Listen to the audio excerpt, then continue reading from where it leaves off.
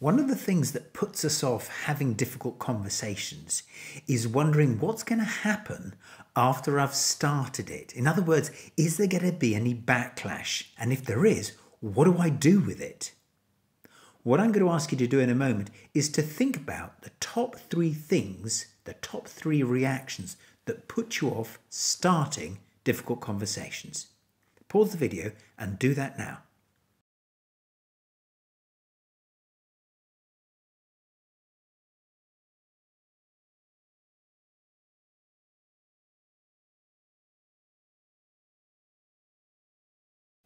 Okay, welcome back.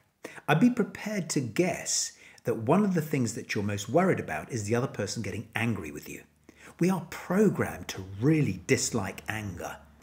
It's really disconcerting, even frightening, to be on the receiving end of somebody who is being, quote unquote, nasty to us. But anger is usually the result of fear. And actually, what we're doing by enduring anger is allowing the person to work through the feeling. When you do actually encounter a big feeling like anger or disappointment or frustration, uh, or indeed anxiety in the other person, what do you typically do now? So pause the video and ask yourself and scribble down what do I do now when I'm faced by big feelings coming the other way? Pause the video now.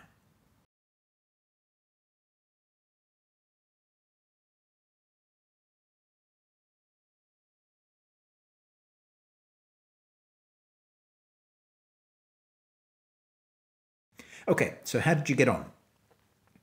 It might be that some of your responses were things like, well, I, I try and lighten the mood, or I try and explain the logic of the situation, hoping the other person will calm down, or I try and rationalize things. Or uh, maybe I tell them how I'm feeling, or that it's not that bad, but somehow I do something to them, hoping that it'll make things better. It's a completely natural tendency. But what I'm going to ask you to consider, and then to do a bit of preparation for in a minute, is to actually pay attention to the feelings behind the words. So, in a moment, I'm going to ask you to pause, but before then, call to mind a person with whom you have had a difficult conversation, where you got some sort of big reaction coming back. And think about what feelings you thought you were seeing so pause the video now and list down the sort of feelings that you thought the person was having when they were having a, kind of go back at you. Pause the video now.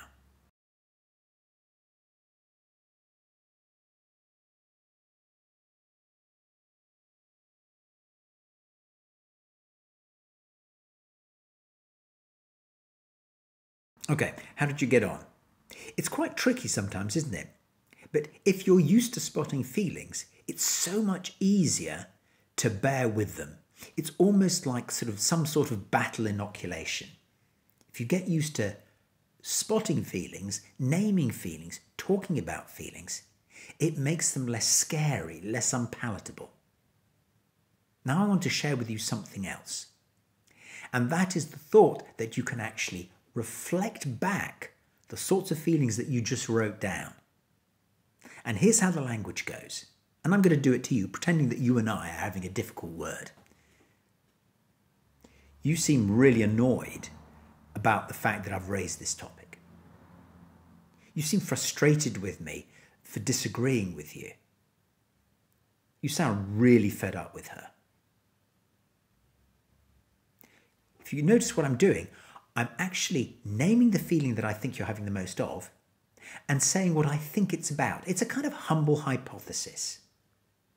So, as a last little bit of prep work, pause the video in a second and write down uh, literally one sentence about what you're reflecting back to that person might have sounded like.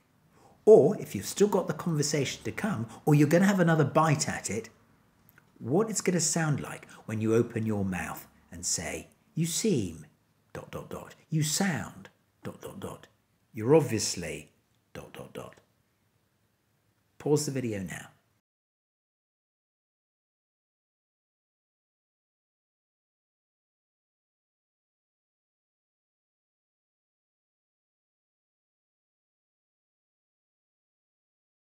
Okay, welcome back for the last time. So you should have a number of very simple sentences and you only need one at a time. And when you do this in real life, what you'll find with practice is that those intimidating conversations do get easier because you know that you're going to be able to deal with what comes in the other direction.